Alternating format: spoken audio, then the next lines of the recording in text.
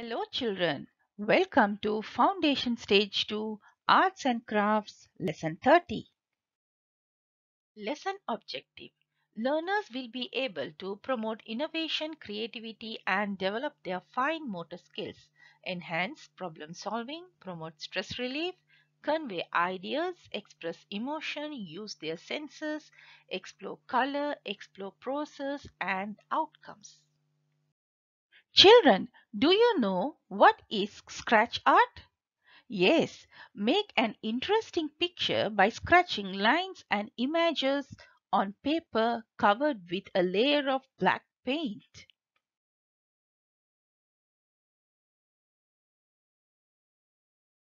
Materials needed are crayons, a scratch, black poster color and a paper.